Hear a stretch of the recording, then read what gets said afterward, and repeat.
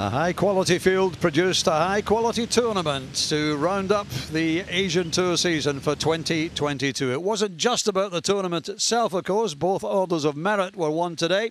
Sihwan Kim of the USA with us, birdie at the third on his way to a closing 70. Wrapped up the Asian Tour Order of Merit. Congratulations to Sihwan on his 34th birthday. And meanwhile, Scott Vincent of Zimbabwe on 18, doing enough to collect the International Series Order of Merit with the help of his win at International Series England. A year to remember for Scott Vincent.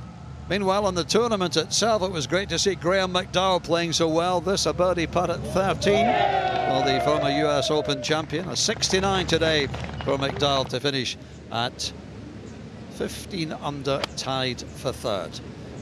Chan Shih-chang's had a very consistent season. The man from Taipei a lovely approach into the last.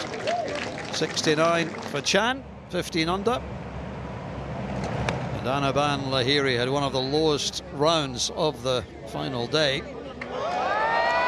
Absolutely superb approach to the par 5 18th. The 2014 champion shoots a 66 for 16 under and finishes second.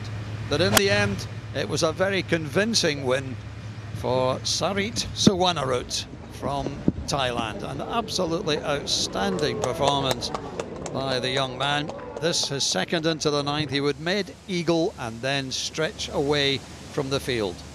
Another birdie at the 15. And a par five at the last with a short little winning putt confirms that Sarit Suwannarut with a round of 68 shoots 20 under par and wins by four. What a way to win the BNI Indonesian Masters.